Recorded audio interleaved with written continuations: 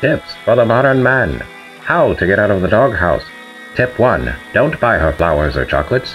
Instead, get her something nice from Scottsdale Fine Jewelers. Tip 2. Girls love surprises. During that fancy dinner reservation, why not surprise her with some jewelry from Scottsdale Fine Jewelers? Tip 3.